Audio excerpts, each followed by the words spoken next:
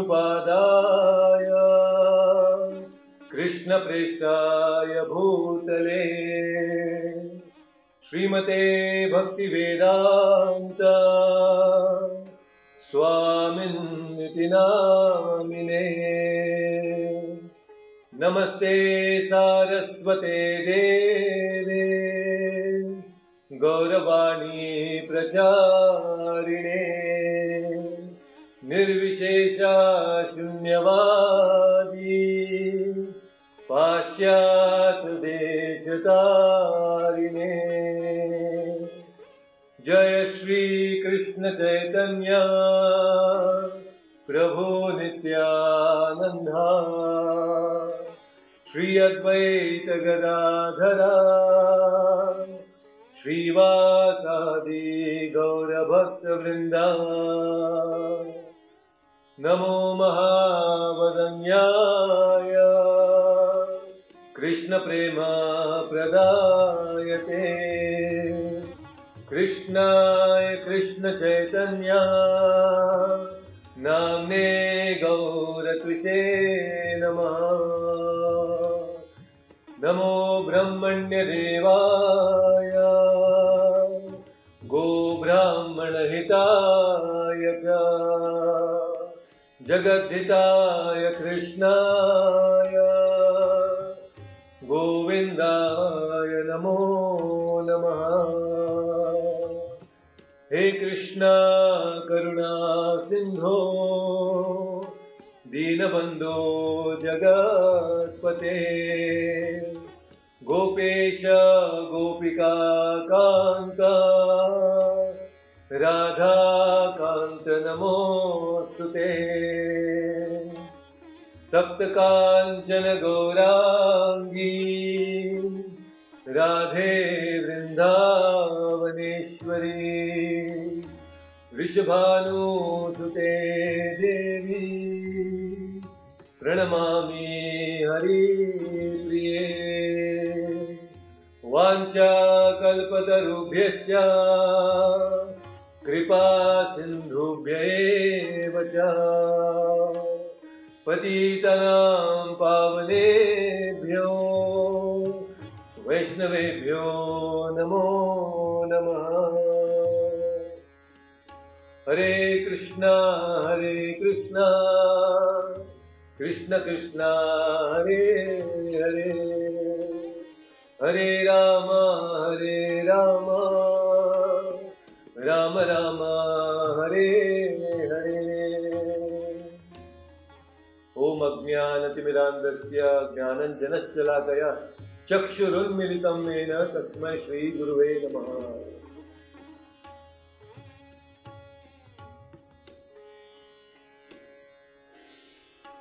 All right, Hare Krishna, everyone.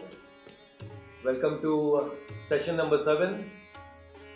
And uh, we have been uh, discussing all the wonderful slokas in chapter one. We have already completed uh, 27 slokas. So today, let's begin with the 28th sloka. And here in this 28th sloka, the focus is back on Arjuna and Arjuna is ready to speak. And he's speaking something very interesting now. Please repeat after me, line after line. Arjuna Huvacha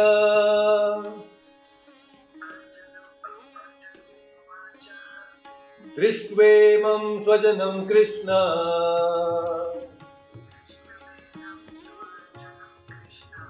युयुत्सुं समुपस्थितम्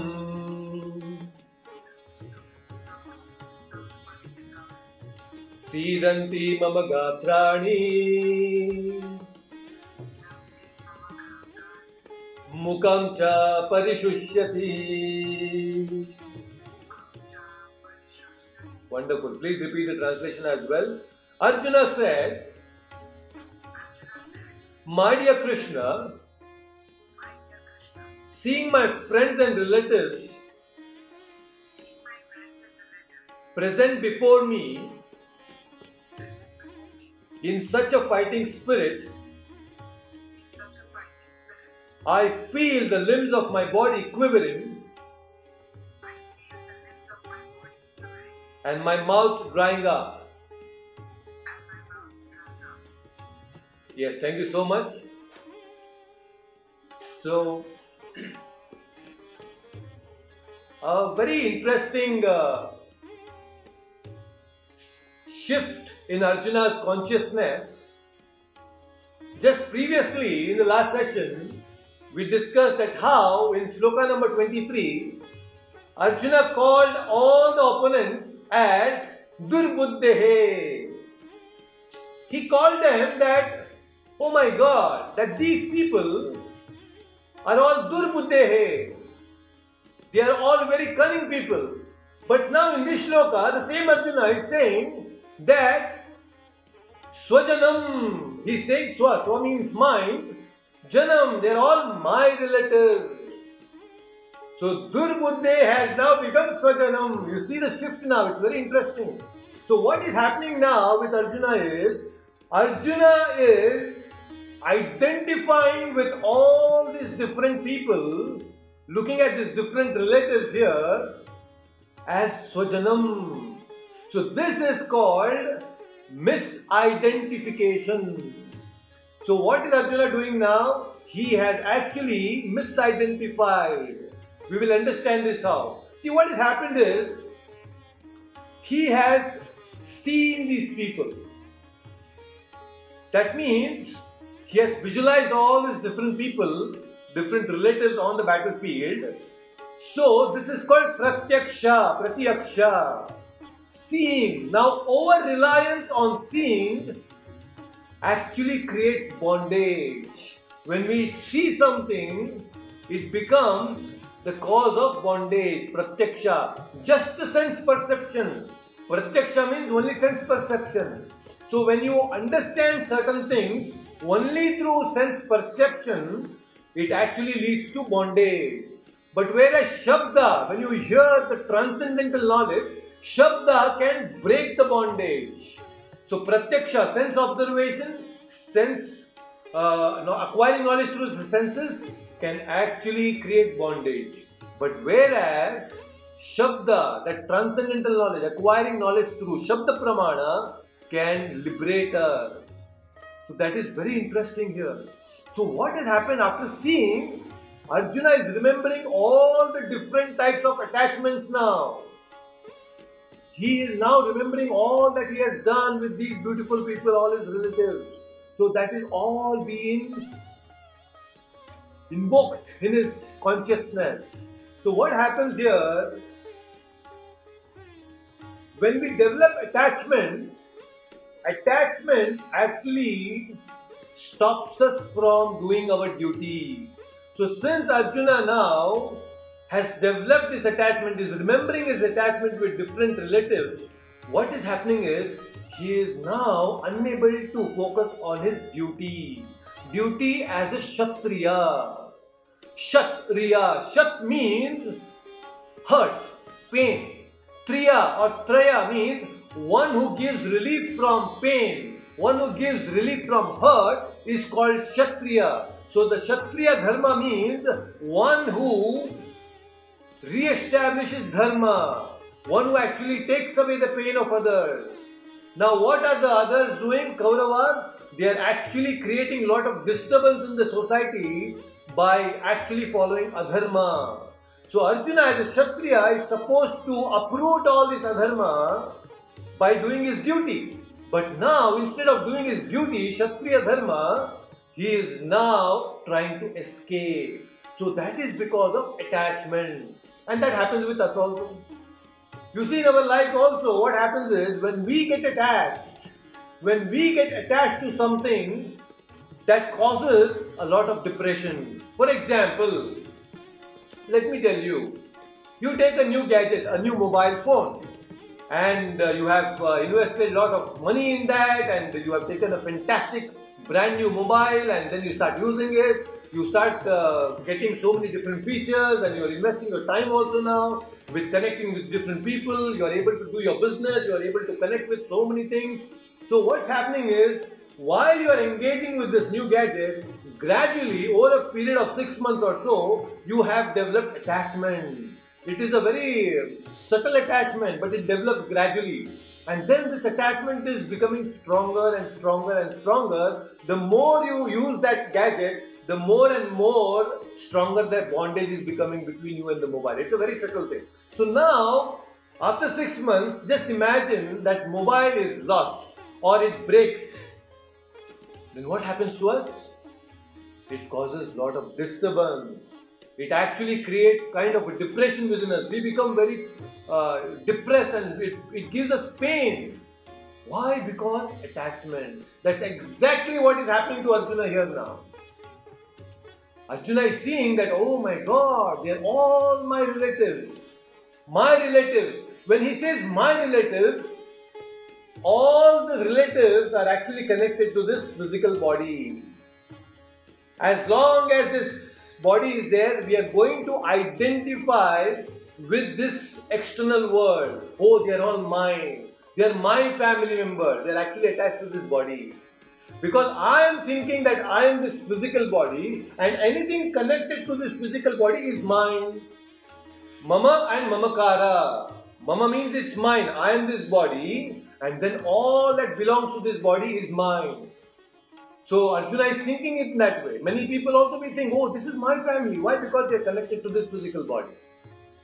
And then sometimes some people they also expand this idea, this concept of Mamakara. How? Oh, this is not my family. Oh, this is my uh, community. Oh, I am a Maratha, I am a Kshatriya, I am a Punjabi, I am a this and that. So what's happening here? I'm relating myself, identifying myself with the community. This, this is expanded false ego. And some people identify with the country. It is even more expanded. Oh, this is my nation. Anybody belonging to this particular tract of land, India, are all mine, and anybody else uh, other than India, they are not mine. So this is all attachment, false identification. Anybody born in China, they are not, they are not mine. They do not belong to me. They are not Swajanam. They are, they are not my, my jana. They are not belonging to my body. So I have no connection with them. I have no attachment with them. But whereas when I start identifying people with respect to this body, it's all Swajanam. Oh, they're all my people.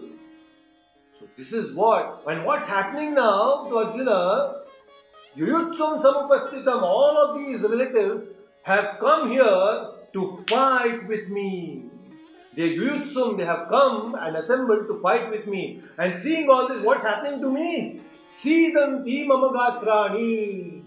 Sidanti. So very beautifully it is said here, his body is quivering. He is now shivering. These are physical symptoms of stress. So these are very dangerous now. So Sidanti, his mouth is Mukham cha parishishyat. What's happening is his mouth is drying up. So these are the physical symptoms of stress. So this is exactly what is happening now. Very, very, very wonderful. So uh, I have a question here from H2O. This is uh, the first chapter of the Bhagavad Gita H2O and I'm discussing a very interesting uh, discussion here. We are having wonderful discussion. You just keep listening. I'm sure you will get a lot of insights here. It will be really nice. So in this particular, we can understand that this shloka, Arjuna is displaying his compassion. The first reason what Arjuna is giving to not fight, the reason is compassion. He's overcome, he's overfilled, his heart is filled with compassion. And this is because there is illusion in his heart right now. Misidentification. We will go and touch this very important of misidentification in the second chapter because there we will understand what is this mis- misidentification. What am I talking about body? What is this soul? What is, what is this misidentification? So actually the knowledge begins when we understand that I am not this body. The beginning of the knowledge is to know that I am not this body. That is what was taught in the Vedic times also. In the olden days, when children used to go to the Gurukula, they were not taught twinkle twinkle little star or Baba black sheep. No. They were first taught, you are not this body. You are this spirit soul. That was the first lesson given to the children in the olden days. But today it's all gone. And that's why we cannot relate. That's why people are not able to become happy because they don't know their true identity. As long as you don't know what is your true identity, how can you be happy? Many people want to be happy. In fact, everybody wants to be happy, but then they have no clue what is their true identity. Many people, 25 years, 30 years, 50 years, they don't know who you who they are. You ask them simple questions. Who are you? And they will be lost. They cannot answer this simple question. When you ask them simple thing, who are you? They will be unable to answer. They will tell, I am an Indian, I am a man, I am a professional, and so many things. But this one thing, that I am a spirit soul, is not there in their consciousness. And as long as we don't identify our true identity, we will be unhappy. And that's exactly what's happening to Arjuna here. So let us understand how Arjuna is going to further display his physical symptoms, and now from physical symptoms of stress, he is also going to display some mental symptoms. So let's discuss that in the next uh, sloka. वेपतुश्च शरीरे मे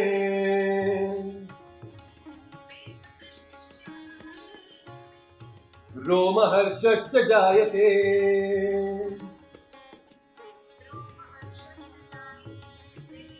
गांडीवं शंसते हस्ता।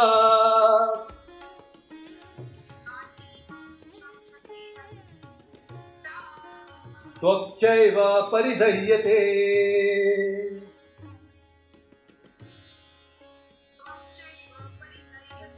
Wonderful. Let's do that once वेपतुश्च शरीरे में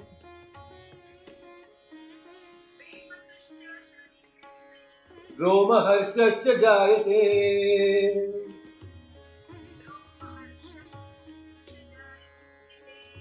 गाण्डीवं शंसते हस्ता।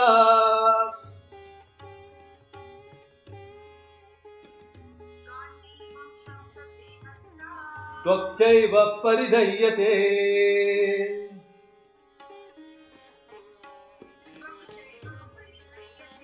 Wonderful. Please repeat the translation. My whole body is trembling and my hair is standing on the end.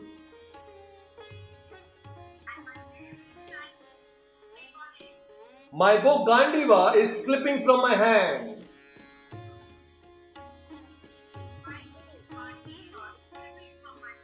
And my skin is burning.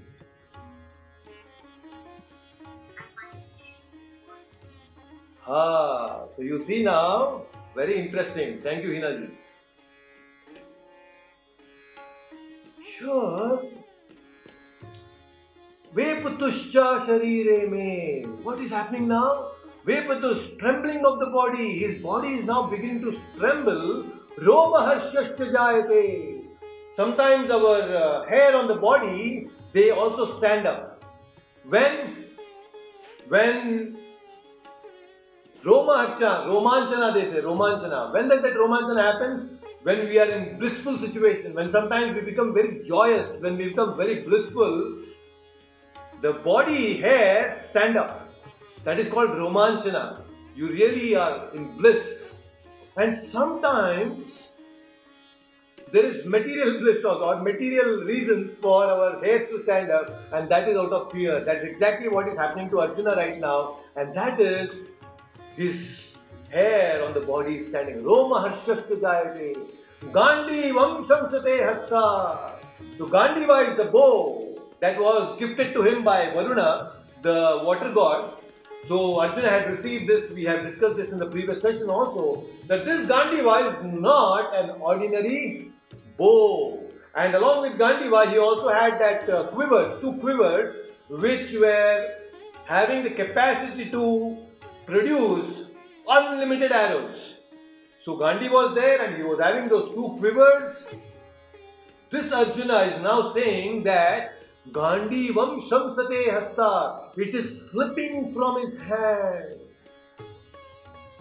So this Gandiva is not an ordinary bow. Just now, you know, sometimes we also we win medals and trophies and we display them at our home. Very interesting, you know, we have won so many medals and trophies. So similarly for Arjuna, he also has won a lot of medals and trophies. And what are those? Pashupatastra, the Brahmastra, and also Gandiva, and many such weapons, Astra and Shastra, that are all different Astras and Shastras. These are the medals that he had acquired all throughout his life. So this Arjuna had actually got this from Varuna, but you should know this Gandiva was previously used by Brahma also. Even Shiva has used this Gandiva, and that wonderful bow is now in the hands of Arjuna, which is slipping away from his hands. Arjuna had taken a vow, very interesting.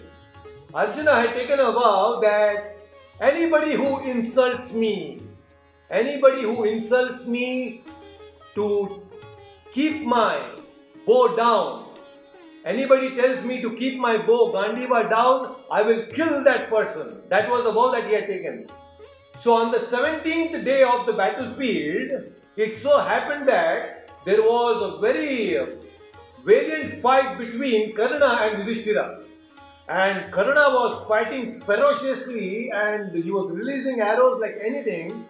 And then Yudhishthira was actually injured. And actually, Yudhishthira had to go back to his uh, tent. And uh, to again reframe himself, he had to go back. So this news was received by Arjuna. He was fighting, but he got to know my elder brother Yudhishthira. He is hurt and he's gone back. I need to check what has happened. So out of concern for his elder brother, Arjuna and Krishna, both of them on the chariot, they go back to the tent to see what has happened to Yudhishthira. And moment Arjuna and Krishna enter with the chariot, Yudhishthira smiles at uh, Arjuna and says, Arjuna, I am sure you must have defeated Karna and because of that, you have come here to give this news to me. Arjuna said, No, brother, I have come here just to check upon you. I just wanted to see if you're alright. And that's it. Yudhishthira was so angry at Arjuna. He said, How coward you are! You should have fought with Karna and defeated him. Instead, you have come here leaving the battlefield to check if I'm alright or no. You could have actually given me more pleasure if you had fought there with Karna and you have come here to just check me. This is not good, Arjuna. What is the use of you being such a great warrior and having this wonderful bow Gandiva with you? There is no use. Just give up that Gandiva. This is what Arjuna says. That's it. Arjuna hears this humiliating word from Yudhishthira and he cannot tolerate now. He says, My brother, I am not going to leave you, I will kill you. Can you imagine? Arjuna is saying that he will kill his own brother. And immediately Krishna had to intervene and said, Hey Arjuna, he's your brother. Why do you want to kill your brother, own brother? And then Arjuna said, I have taken a vow that I am going to kill anybody who tells me to keep this bow, my Gandiva bow down. And my brother has told I am going to kill him now. Then Arjuna said, uh, Krishna said, No, no, no, you cannot kill your brother, but your brother is a very honorable man. And for a person with honor, dishonor is as good as death. So for a person who is a very honorable person, if you dishonor him, it is as good as death. So Krishna tells Arjuna, Arjuna, you humiliate, speak ill words about Yudhishthira. You insult Yudhishthira and that is good enough. That is as good as killing Yudhishthira. And then Arjuna goes on to tell, Oh my brother, that great, wonderful, uh, not wonderful actually, such a bad gambling match you did, you sold off all your brothers, including your wife. All oh, this is very bad. And he went on to blaspheme Yudhishthira left and right. And uh, Yudhishthira, you know, he put his head down and he was quiet. And after speaking all the ill words against his own brother Yudhishthira, Arjuna was now further disappointed. He came back to senses. Oh Krishna, what did I do? I spoke ill against my own wonderful brother.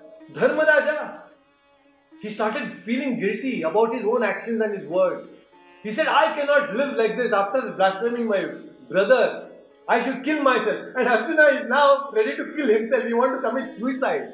And then Arjuna, Krishna had to intervene again. Wait, wait, wait, wait, Arjuna, you don't have to kill yourself. If you want to rectify your mistake of blaspheming your brother, what you should do is, the best thing is, you self glorify yourself. You glorify yourself. Praise yourself. And when you praise yourself, that is as good as committing suicide. So what I am trying to tell here is, in fact, Krishna is conveying to all of us is, anybody who is glorifying himself, anybody who is always praising himself, he is sure to decrease his lifespan.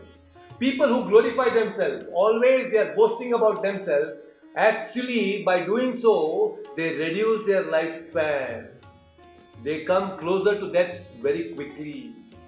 This is very interesting to know. That is why, as practicing devotees, as aspiring devotees, we should not self glorify. We should always remain humble. Okay, so this was the point. Again, I just wanted to tell this because how important this Gandiva bow was to Arjuna. Very, very special bow. And that is slipping from his hand. A warrior like Arjuna, who is extremely powerful, a Kshatriya, is now overcome by this stressful situation and his Gandiva is slipping from his hand. Just like sometimes in movies also we see, or in some TV serials we see, you know, a woman is carrying a plate full of, uh, uh, you know, some puja items or some food items, and suddenly she gets a call, oh, your husband is met with an accident and uh, he's admitted in the hospital. So what happens immediately? The woman will drop the telephone, she will drop the whole plate of uh, fruits and food and all that thing, drops, talk. So exactly like that is happening to Arjuna. Why? Because overpowered by emotion. When we are attached to a person and when we are overpowered by such emotions, our body will not cooperate. And that's exactly what is happening. Sometimes it happens to students also, and we must have also experienced this. When we are overpowered, students when they're exam, when they're writing exam, the pen will start slipping from the hand. because of the anxiety, oh, what will happen? Will I pass? Will I fail? The pen is slipping from the hand. Why? Because overpowered emotion. So, my question to all of you now stress is good or bad? My question to all of you is stress good or bad? You can either unmute yourself or you can uh, mention that in the comment section. So, stress is it good or bad? And now we can see that how Arjuna is actually displaying stress. So Vinod Chandan is saying in a, in a limited way it is good. Okay, good. Any other answers? Anybody? Achyutan saying stress is not good. okay. Lasya ji, Deepal ma'am, anybody else? Dev Chandan. What do you think? Stress is good or bad? So let us understand. so people India is saying absolutely no. And Nasa is also saying no. So they can be saying when you use it in a positive manner, it is good. okay. So what happens is generally stress is like take an example of a guitar. In a guitar, there are those strings. I think about six strings are there in a guitar. If the strings of the guitar are too loose, then it will not produce any music. It will be unable to produce any music if the strings are too loose. And if the strings are too tight of the guitar and you try to play, there is every possibility that the strings may break. So, too much of stress is not good, and too less of a stress is not good. And that is why the musicians, what they do? They tune the strings in such a way they put they give appropriate stress to the string. Then it will create a very melodious sound. So in our life also, it is important to have some amount of stress. It's important. If there is no stress, absolutely no stress, we will become lazy. And if there is too much of stress in our life, then we will become crazy. So we should not be lazy, neither we should become crazy. We should have a equipoised state of maintaining and balancing the stress level in our life. In fact, sometimes stress will also give us ability to be very productive. It's very important. There are some people, some students also, who can do better when they are under stress. So stress is definitely required, but to a right proportion. So here Arjuna, in one way, he is displaying his stress.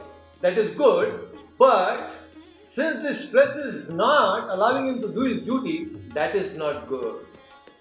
So that is not good. Paridharyate. Very interestingly, if you read uh, the Prabhupada's purport, I am going to share the Bhagavad Gita link also, the soft copy of Bhagavad Gita with all of you. You can please read that. In the previous purport explanation, Prabhupada is saying that Arjuna is a very compassionate person. He has lot of compassion within his heart. And that is very good. Prabhupada is saying all these things are very good. Being compassionate is very nice.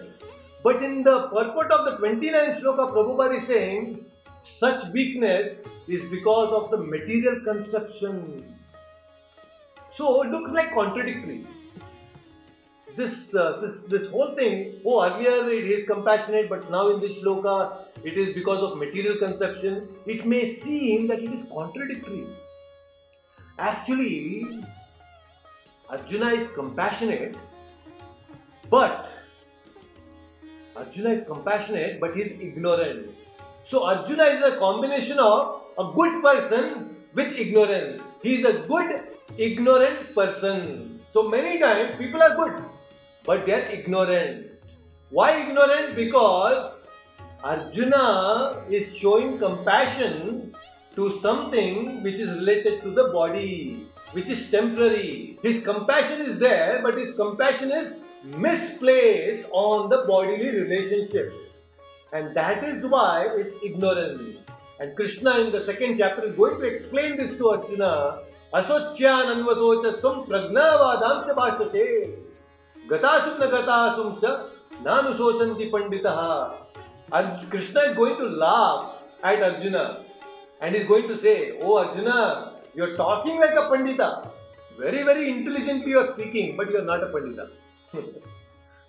so that is why Arjuna is a compassionate but ignorant person in this particular state. Very, very important.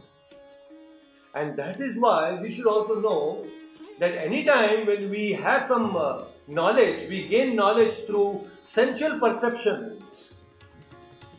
We should not take that as all in all. It is not good. It is not good. We should always go forward and try to clarify and understand the situation better. You see, in the case of Ramayana, there was this Kaikeyi. Kaikeyi, the stepmother of Lord Rama, she heard from Manthara, and after hearing from Manthara, her mind got polluted. She did not seek clarification. She did not go and consult uh, the, the uh, Dasharatha or anybody else.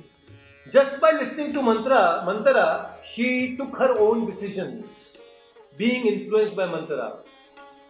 Similarly, here Arjuna is also seeing his relatives by having that sensual perception. He is now got into certain type of perception about his attachments, material attachments. But that will get clarified because he is consulting with Lord Krishna. In our life also, when we have some difficulties, when we are confused, it is very important that we go and consult with a person who can clarify some doubts and situations. Never come to any conclusions just because you have had some sensual perceptions. Never come to any conclusion by that. It's not good. Many relationships also get distorted because of this sensual perception, direct perception. We should seek clarification. Extremely important. Very, very important. So here, in this 29th sloka, we have seen that how now there is the mental stress. This is called psychosomatic effect. You know what is psychosomatic effect? Psychosomatic effect is that effect on the body, an unwanted effect on the body, which is caused because of mental stress. Many times, especially people uh, in business, when they lose lot of money, money, all of a sudden they become bankrupt. It causes so much of uh, stress and anxiety that their body becomes paralyzed, completely paralyzed. And uh, after the demonetization that happened in India, many people they got this psychosomatic effect. They have experienced this psychosomatic effect because all of a sudden, overnight, they lost so much of money and that gave so much of anxiety to them, and the effect of the mind was seen very much visible on the body. They became stressful. So that is exactly what is happening to Arjuna here. The psychosomatic effect is being displayed very nicely by Arjuna here. Actually, is representing all of us. Okay, so Achyutan is saying, Prabhu, different people respond to the same stress differently or the same situations differently. Yes, that is true. It depends on where you focus. Where is your focus? For example, since you asked me question, suppose you like uh, paneer butter masala and uh, it's very tasty. But suppose if the salt is too much in paneer butter masala, your whole attention is now on the salt. Oh my god, there is so much of salt here, so much of salt. You will not relish. If the salt is too less, again your focus will be, oh, the salt is too less, salt is too less. Your focus is not on the taste. But when the salt is just right, when the salt is just right, your focus is not on the salt, your focus is on the dish, the taste. So similarly, stress also is like salt.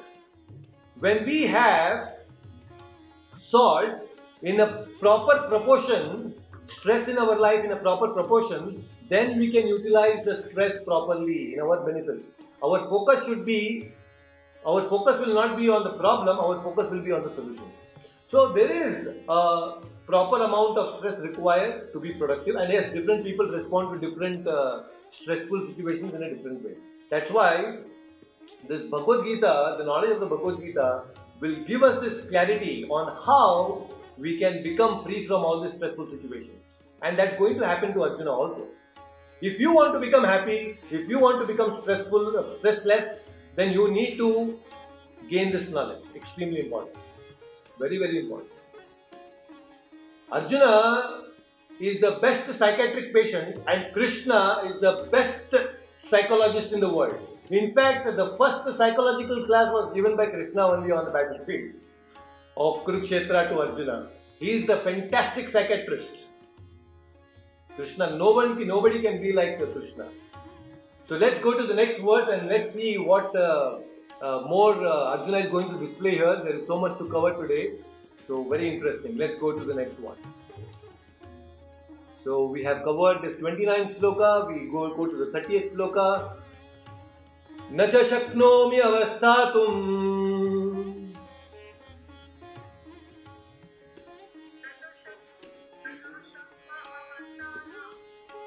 भ्रमतीव च मे मनः।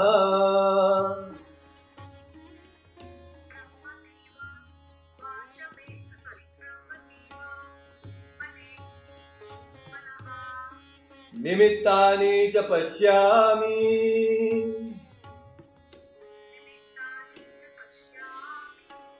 विपरीतानि केशवा।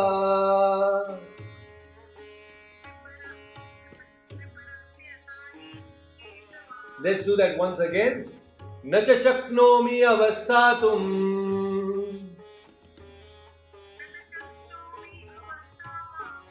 भ्रमती watch मे मनः।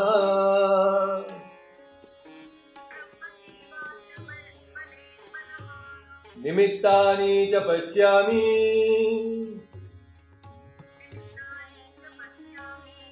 विपरीतानि Keshav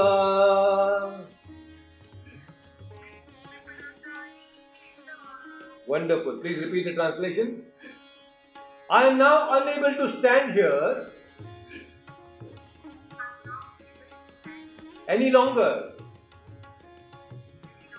I am forgetting myself and my mind is reeling. I foresee only evil. O killer of the Keshi demon. Okay, thank you so much.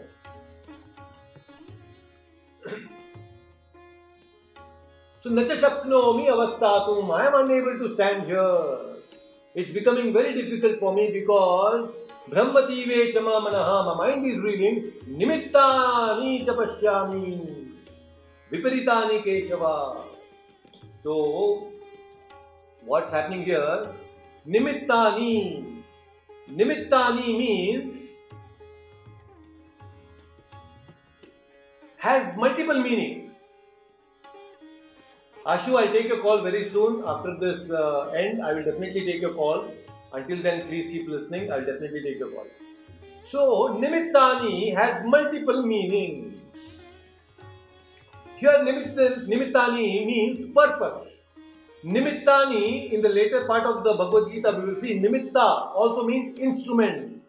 Krishna, Arjuna is saying to Krishna that I am going to Nimitta Matra Bhava Savyasachin. I am going to act like an instrument in your hands, Krishna. So there he refers, Nimitta refers to an instrument. Nimitta also means omens. There is a science of omenology. What are omens? For example, it is called Nimitta Shastra, Nimitta Jnana, it is called. This is a very subtle science.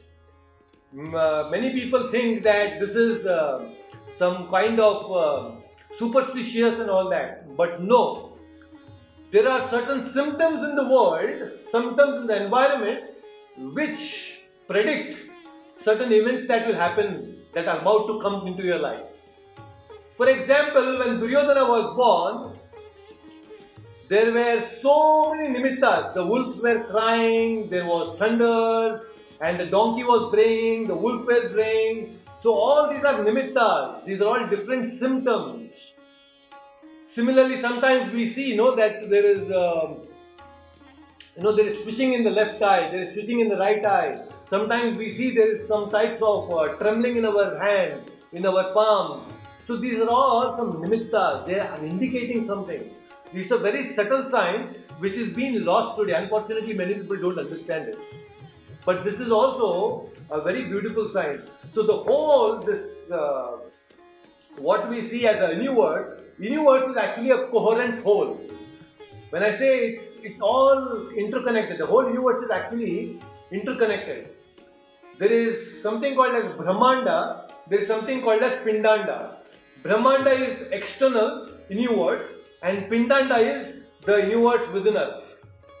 Whatever you see in the external Brahmanda is also within our self also is called Pindanda. It's a deep science, we will touch upon this as we go forward. So this universe is a coherent whole. So cosmological, topological, ecological, physiological symptoms, they all come together to release our karma to us. They're all interconnected. So we will discuss all these factors as we go forward. So Nimittani, here is saying, I don't see any good purpose in fighting this war. Napashyami. So Pashyami means to see. I don't see any good here. So here Pashyami, to see means it's not in the literal sense, it is in a figurative sense. What do I mean by figurative sense? It's like when I'm sharing something with all of you now, you are actually seeing what I am sharing. You are using your intelligence and you are trying to see all that I am sharing using your intelligence. So this is called figurative seeing.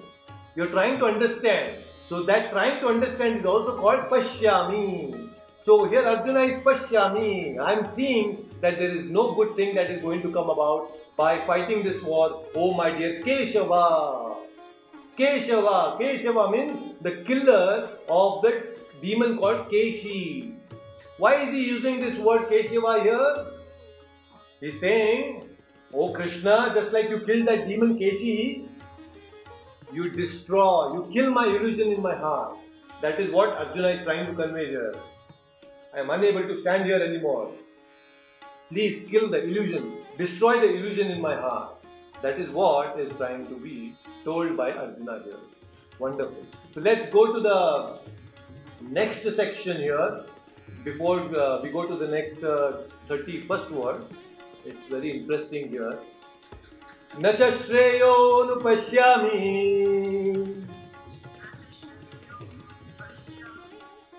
हत्वा स्वजनमाहवे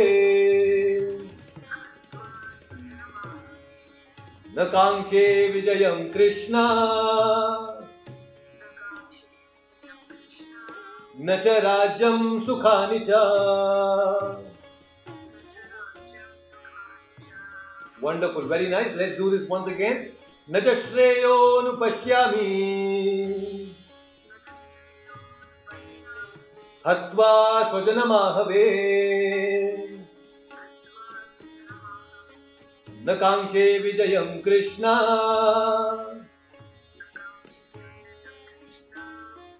न च राज्यं सुखानि च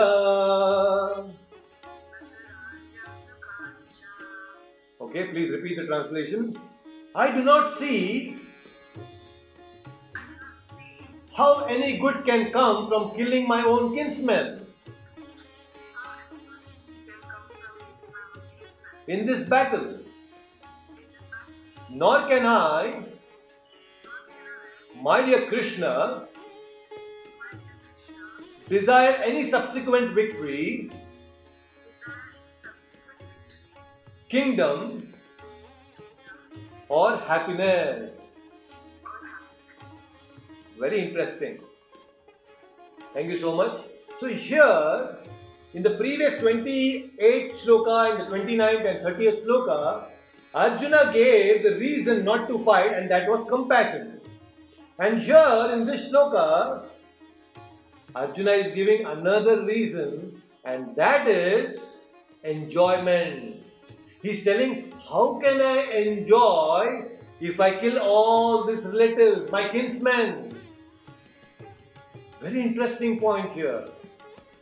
Okay, so here, very interestingly, just imagine all of you that there is a World Cup. India has won the World Cup and uh, they are really happy. But when they come back to India, there is no one to greet them. There is no one to really receive them. How will they feel? Do you think that they will really enjoy winning that World Cup? No. Because enjoyment comes when you share your joy with your relatives. So here Arjuna is saying, what is the point in winning this whole kingdom by killing my own relatives with whom I intend to enjoy? I want to enjoy this whole kingdom with them and now I'm ready to kill them. How can I enjoy this kingdom? Oh my dear Krishna. How can I enjoy? It's not possible for me to enjoy. And that exactly happens to us also. This is a very important point.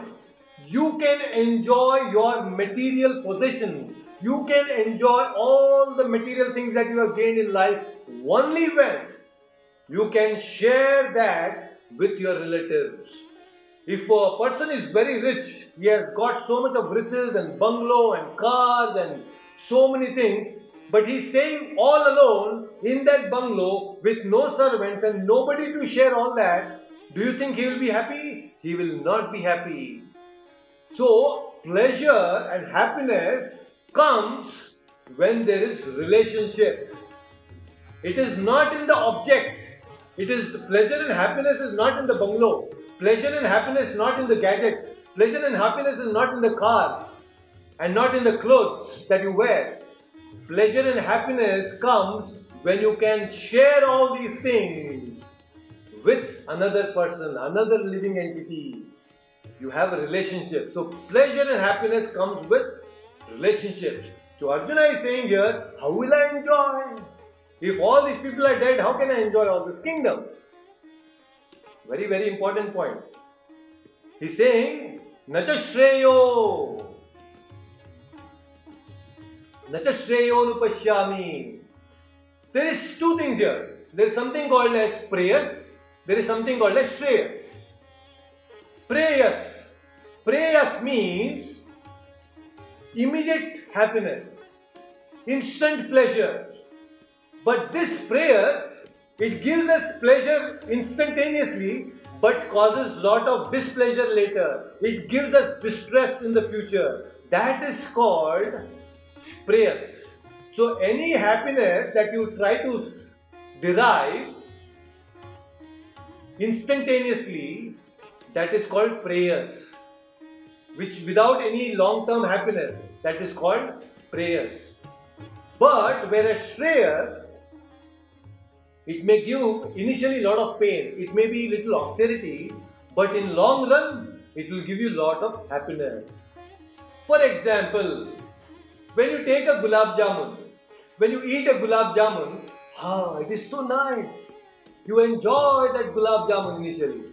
But when you eat that gulab jamun twice, thrice, and you want to enjoy more and more, the same gulab jamun initially which gave you so much of pleasure that becomes the reason and cause for your displeasure.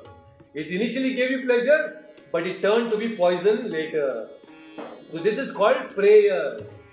But whereas Shreyas is not like that. Now the student his exams are just one month away. There is a very tempting uh, cricket match that is going on. He wants to go and watch. It's very tempting. But no, no, no, no. I do not have to do this. I don't have to see this because I have to study now. It's important. So he goes and studies and he sacrifices that watching of cricket match. So this will ultimately bring him Shreyas. He is giving up the instant temporary pleasure for something higher, higher pleasure. So we should also, in our life, should not seek for preyas, but we should seek for Shreyas. So that is what Arjuna is saying here. I don't see any Shreya here. I don't see any happiness in the future. So why should I simply fight here with all these people when I'm not going to enjoy? So this is very interesting. How can I enjoy? So pleasure and happiness comes from relationships, not by the object itself. So this is very interesting point. So this is the second reason what Arjuna is putting forward. First is compassion. Second is enjoyment. How can I enjoy? Please make notes of all this because uh, after completing the first chapter, we are going to have a quiz for all of you. I am going to have a quiz session for all of you. So let's go to the next verse now. Very interesting. And by the way, I think this is the only verse where uh, Krishna is referred as Krishna. Krishna, this word is very intimate. This name Krishna is very intimate. Many other places, Krishna is referred as Janardana, Keshava, Madhusudana, many, many other names. But here in this shloka, very intimately, Arjuna is saying Krishna. He is calling out Krishna's name. Krishna is the very intimate name of the Lord. Okay, so let's go to the next word and uh, the next word that is 32, 33, 34 and 35 are all combined together because they have some logical connection between them and that is why Prabhupada has nicely connected all these four shlokas together. So I see that there is uh, Vinod Chandanji. Vinodji, please come and chant the 32nd sloka. And Achyutanji can come and chant the 33rd sloka. Kim no Rajena Govinda. Kim bhoge jivitena va. Eshamarte kangshitam no. राज्यं भोगा सुखानि च. Let's do that once again. Kim no rajena govinda. किं भोगे जीवितेन वा येषामर्थे काङ्क्षितं no राज्यम भोगा सुखानि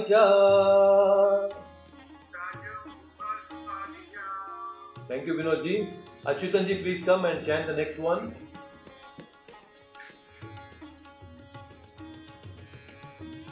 thirty third shloka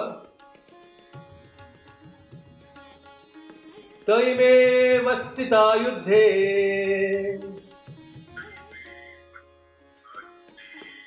प्राणां त्यक्त्वा धनानि च।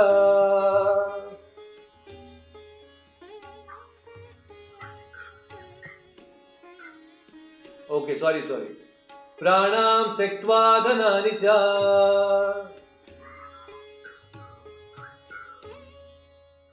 आचार्यः पितरः पुत्रा।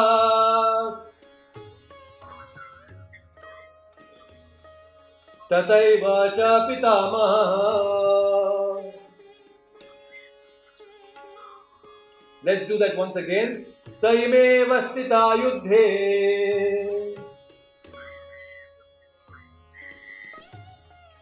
प्राणां त्यक्त्वा धनानि च। आचार्यः पितरः पुत्रा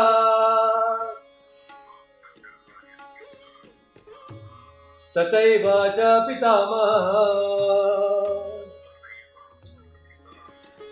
wonderful very nice Sachitam ji okay Parashar Prabhu please come on mine unmute yourself Parashar Prabhu and let's do the thirty fourth shloka as well together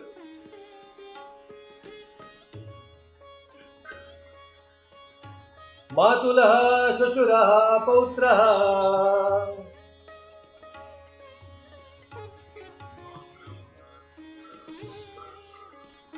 शालाः सम्बदिन सम्बदिनस्तथा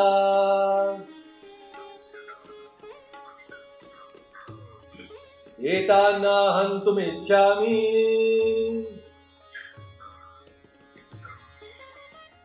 ज्ञातोऽपि Madhusudan Okay, let's do that once again. Matulaha, Shwashuraha, Pautraha.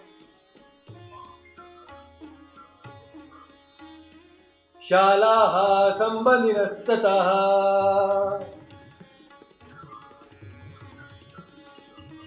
एतान्नाहन्तुमिच्छामि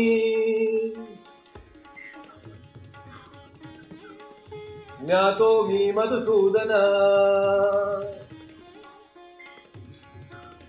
Okay last one more shloka Dev Chandan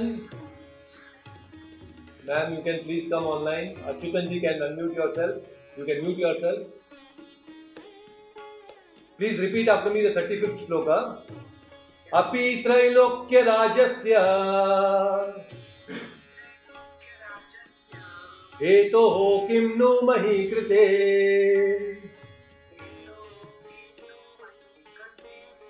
निहत्या धातराष्ट्रान्नः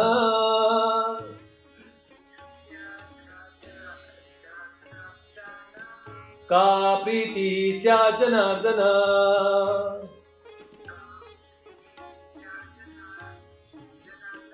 okay wonderful let's do that once again अभी त्रैलोक्य राज्यस्य हे तो हो किम नु महीपते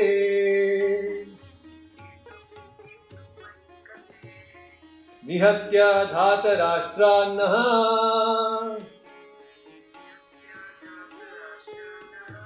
का प्रीति स्या Janardan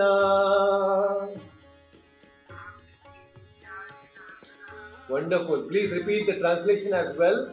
O Govinda, of what avail to us are kingdoms, happiness, or even life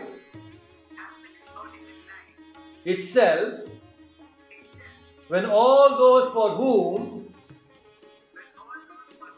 we may desire them are now arrayed in this battlefield.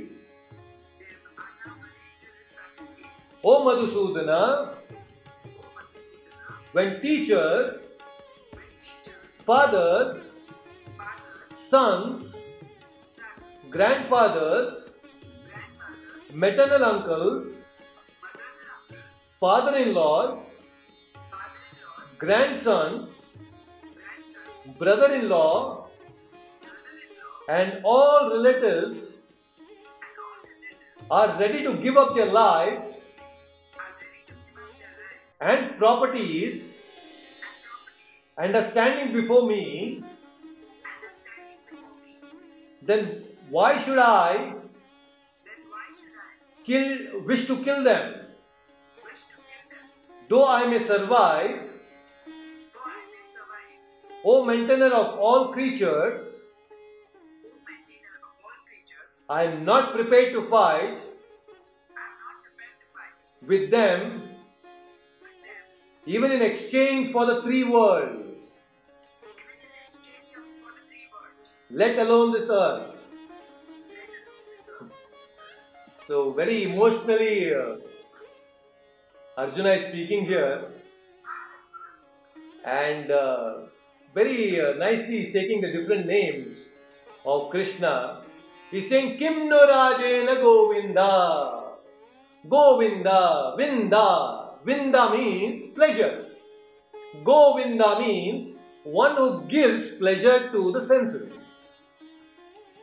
So Go means also cow. That's why you know we say Go Raksha, Godhan. Go also refers to cows. Go also refers to our five senses, Indriya. They are also called as Go. Govinda means one who gives pleasure to the cows, one who gives pleasure to our own senses is called Govinda. So why Arjuna is taking his name as Govinda here? Because, oh Krishna, if by fighting all these I am going to lose my sensual pleasure, please give me pleasure.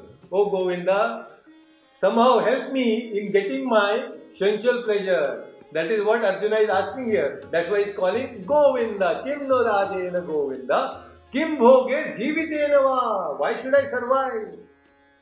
By how do I enjoy? Just to enjoy bhoga, to enjoy this kingdom. No, I don't want to live. I don't want happiness now. See, he's saying, I don't even want happiness. Arjuna is saying, Esham arthe kamsitam no.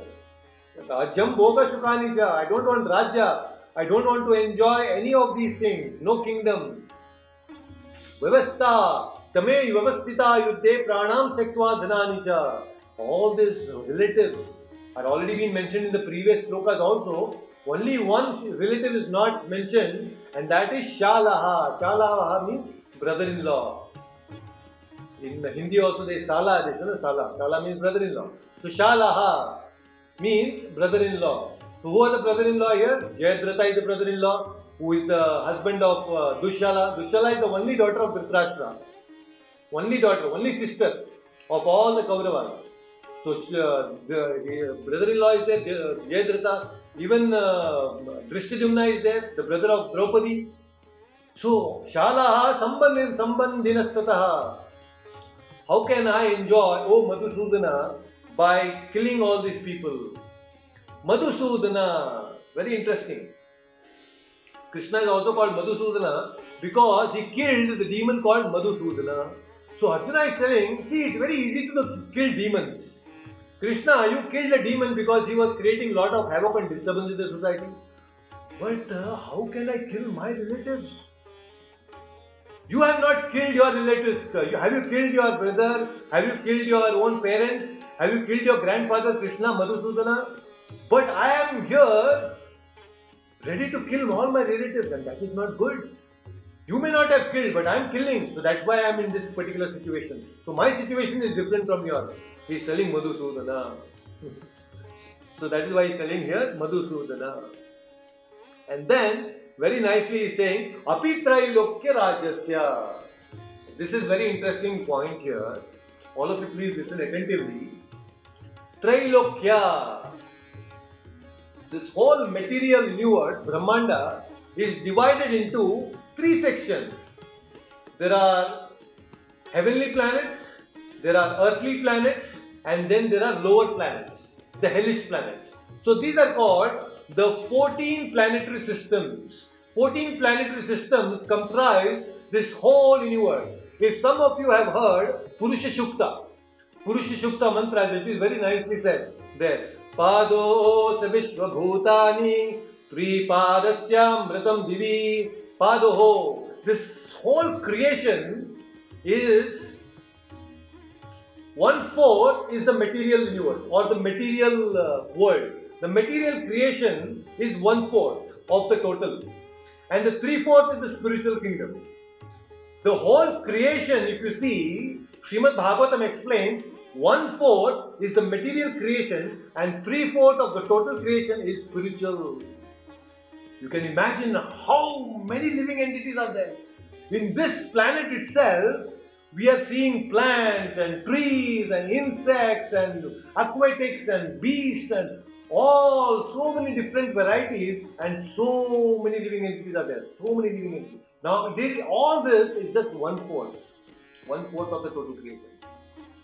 Trilokya. So, what are these Trilokya? Let us understand. If you are making notes, it will be very nice. So, the top seven planetary systems, and there are lower seven planetary systems. So the topmost in this whole Brahmanda, the topmost planetary system is called Satyaloka or Brahmaloka.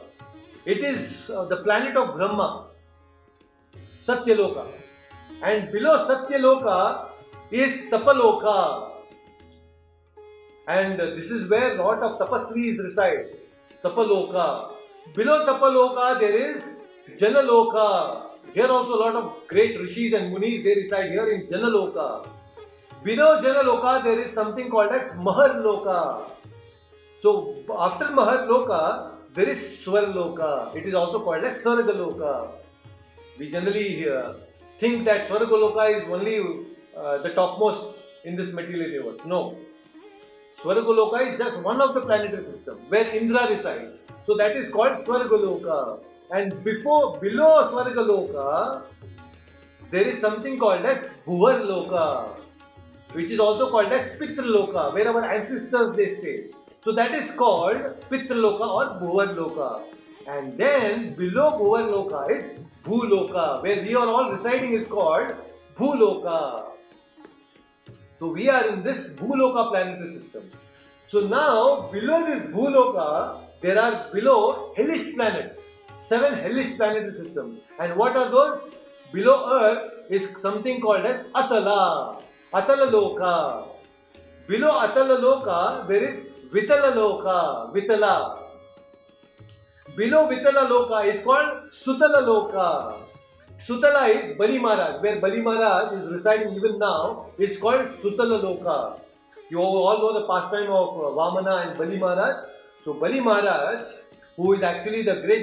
Of uh, Prahlad Maharaj, Bali Maharaj stays in this Sutala Loka. And below Sutala Loka, there is Tala Tala. Tala Tala is the Loka where this Maya Danava resides. He actually happens to come from Tala Tala. Who is Maya Danava? This Maya Danava is the same Maya Danava who helped the Pandavas to build the beautiful Indraprastha, the palace of uh, uh, the very mysterious uh, courtroom in Indraprastha was built by Mayadanava and he happens to come from this Talatala. And below Talatala is Mahatala where all the serpents reside. Like Vasuki and all the great serpents, they all reside in Mahatala. And below Mahatala is called Rasatala. And Rasatala, below that is Patala. We have heard Patala, isn't it? All of us have heard Patala. But above Patala, all the six different different planetary systems are there. So Patala is the bottommost planet, planetary system in this whole universe. So from Satyaloka to Patala, that is called Trilokya. And that is what Arjuna is saying, Api Trilokya Rajasya. What is the use of getting the Trilokya, even if I get the whole Trilokas, this 14 planetary system, if I am unable to enjoy all this with my own relatives? There is Kapriti he. check Janardana, he's saying, Oh Janardana, what is this if I get all the kingdom and I really don't uh, have all my relatives? Is it not? So this is what is uh, very nicely explained here. He's saying Janardana, Arjana. Arjana means distress. Janardana means one who takes away the distress is called Janardana. So Krishna Arjuna is telling, Oh Janardana, please take away all this distress in my heart. I am very distressed now. Please take away Janardana, all this distress that is there. So such an interesting thing, so beautifully Arjuna is representing all of us. We all also to some extent and different degrees are somewhere distressed. Today we are all distressed because of Corona. This Corona is causing so much of disturbance in the whole society, in the whole world. Everybody is distressed. Economic collapse is happening and so many unwanted things are happening. All are distressed. So here we need to take shelter of Janardana. That is exactly what Arjuna is doing here. But if you see, what is happening with Arjuna here is, he is very self-conscious now. He is only talking about my relatives, my enjoyment, my depression, my distress, my everything is mine, mine, mine. So he's so absorbed in his own self-enjoyment and his self-material attachment, he's forgetting his duty. So when we also become so absorbed, we forget our duty. And that is what he is not able to understand what is dharma. He is not understanding that my dharma is to fight like a kshatriya. I have to establish dharma. So he has uh, considering only his own happiness and distress, but is forgetting his dharma. So, my dear listeners and devotees, this Bhagavad Gita knowledge, if you are thinking by acquiring this knowledge I will become a good person, no. You will definitely become a good person, you are already there. You are a good person, that's why you are listening to this Bhagavad Gita. And Arjuna is also a good person. But this knowledge of the Bhagavad Gita is not to make us good person. This knowledge will take us beyond good and bad. This duality of good and bad. That is why the knowledge of the Bhagavad Gita is paradigm shifting. It shifts our paradigm of good and bad. The current understanding that we have of good and bad will be completely changed, transformed after listening to this knowledge of the Bhagavad Gita. What we think as good and bad will be transformed when you look at from the perspective of Krishna, from the spiritual perspective. That is what is going to happen here. You see, Chanakya Pandit, before I end, I want to make this last point here. Chanakya Pandit has made a very beautiful statement. He says, in order to protect one family, one family member can be sacrificed.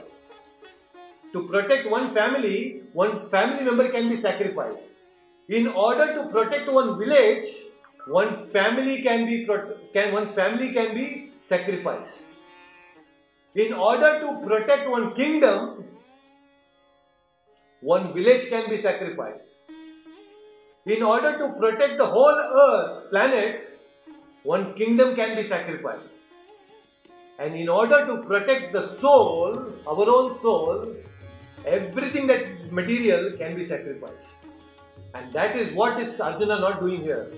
He is not ready to sacrifice for the welfare of his own dharma of the soul. He is not sacrificing all this material attachment. He is attached to this material attachment.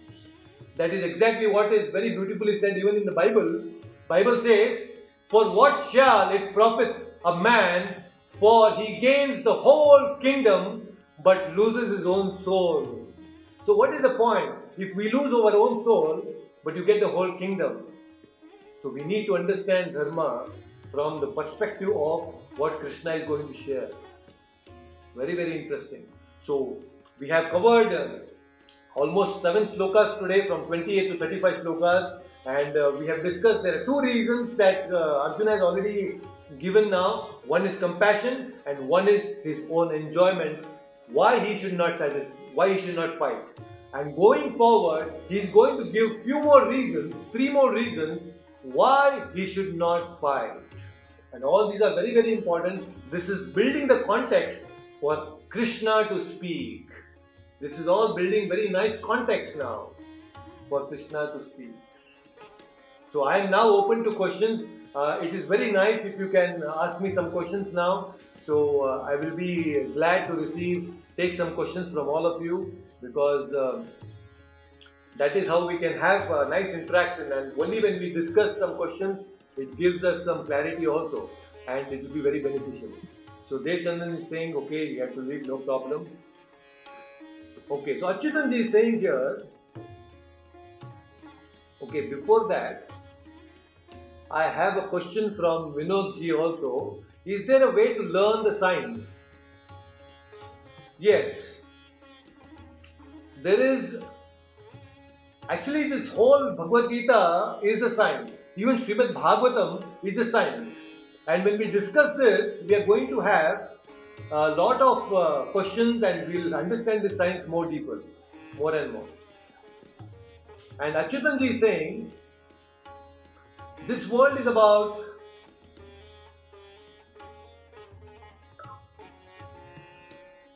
Okay, Prabhu, is there some reading material on Trailokya? Yes, Srimad Bhagavatam explains the Trailokya in the fifth canto. I will try to share that link with you. So, Srimad Bhagavatam fifth canto explains the whole universal structure, how this whole universe is created, and what are the different parts of this universe is very beautifully explained in the fifth canto of the Srimad Bhagavatam. And uh, Lasyaji is saying, when is the quiz you mentioned? Okay, so you want a quiz. That will be after the completion of each chapter. So, after completing the first chapter, uh, we will have the quiz. But meanwhile, during this week and the next week, you can listen to all the previous sessions so that you are aware what we have discussed. And then we will have the quiz session that will be really interesting uh, before we go to the next chapter. That will be really uh, refreshing also, all that we have learned. And uh, that will be very nice. So Vinod is asking, many people associated with this cause have surname as Dasa. Could you please explain? So Dasa is uh, not a surname as such. It is actually representing that we are the servants. Dasa means servant of the Lord. For example, my name is Rasajna Dasa. Rasajna is the name of the Lord. Rasajna. Rasajna means one who knows the different mellows. And that is the Lord. So one of the name of the Lord is called Rasajna and I am the Dasa. I am the servant. So similarly, there are many other names like Keshava Dasa. Keshava is the name of the Lord, but Dasa is I am servant of Keshava. Madhusudana Dasa. Madhusudana is the name of the Lord. I am the servant of the Lord. So Dasa is actually, it is to remind us that we are not the masters here in this world, we are the servants of the Lord. Our, our mood has to be of that of a servant. Gopi Bhartur Padakamalyo Das Das Das Anudasa. We have to become the servant of the servant of the servant of the servant. But here in the material world, everybody is trying to become what? Master of the master of the master of the master. Everybody wants to become master. But we should learn how to become the servant. So that is what spiritual life teaches us, how to become servant. So by calling each other as Dasa, when you call me Dasa, it reminds me, oh yes, I am the servant of the Lord. I should not be master. so it's a reminder for us. So that is why Dasa is there. And Hina is saying, sir, why is Lord Krishna called as Supreme Lord?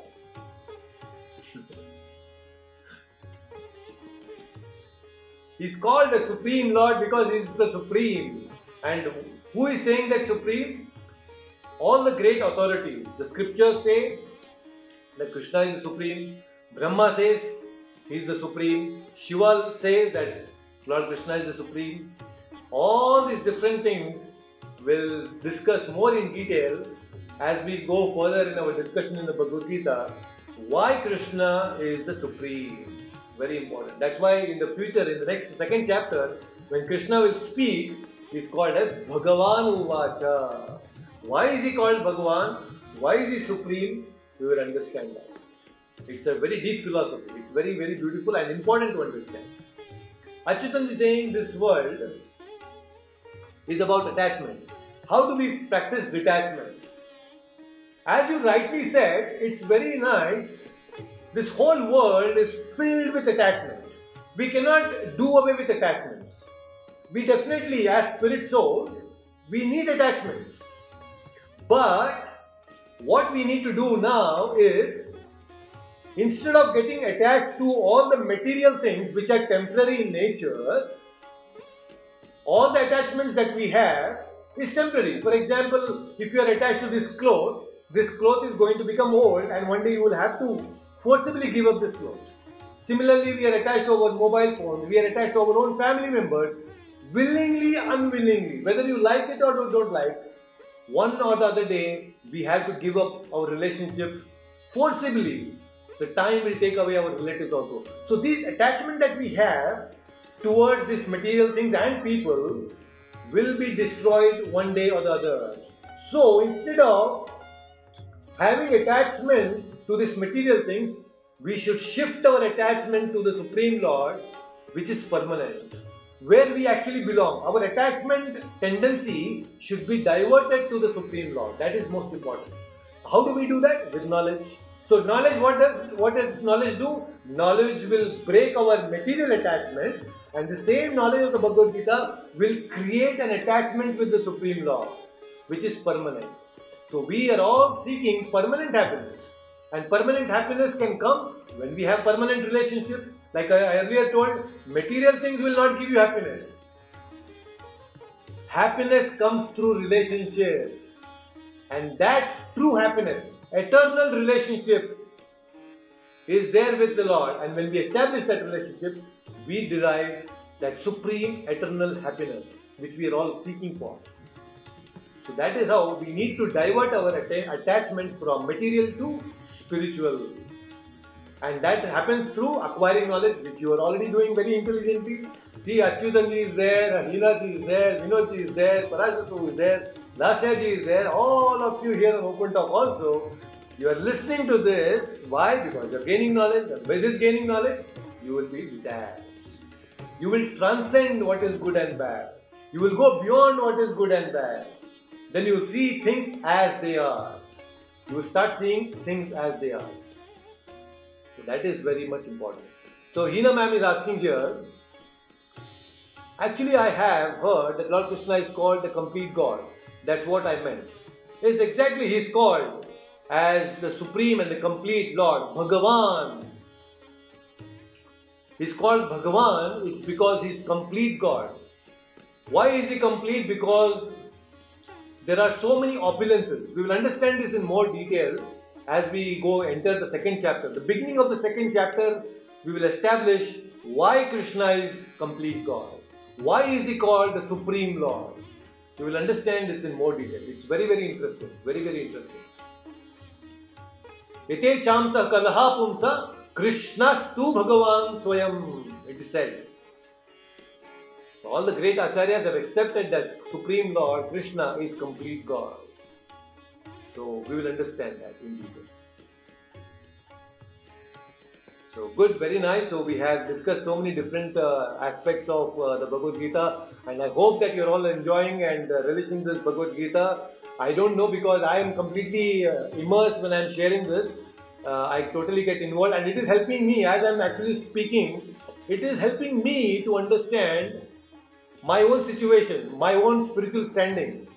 So uh, in one way, I am also very selfish because ultimately it is for my own benefit. I am also seeing that there is so much of transformation that is happening by sharing this knowledge with all of you. And I am hoping that this is also uh, transforming uh, your life also. And I am hoping there is some shift that is happening in your heart as well. And uh, that will be really uh, a very win win situation for both of us, the speaker as well as the listener. So that is my uh, take here and I want to tell all of you uh, here that is we are doing this Bhagavad Gita study. When I say study, it means we are diving deeper into each and every shloka and trying to understand more uh, nicely each shloka. I am not in a hurry uh, of completing Bhagavad Gita, and some of you, if you are thinking that I am going to complete uh, very soon in the next three months or six months, that may not really happen because uh, idea is to understand Bhagavad Gita is more important than completing Bhagavad Gita. So that is what I feel. So uh, if you're thinking that uh, we are going to complete in next six months, no, it may not happen. It may be an ongoing thing, and uh, whatever extent we understand, that is good for us. So I'm not in a hurry of completing Bhagavad Gita. So that is what I'm sharing with all of you. Yes, please take care. Uh, we will see you again next week. Take care. Hare Krishna.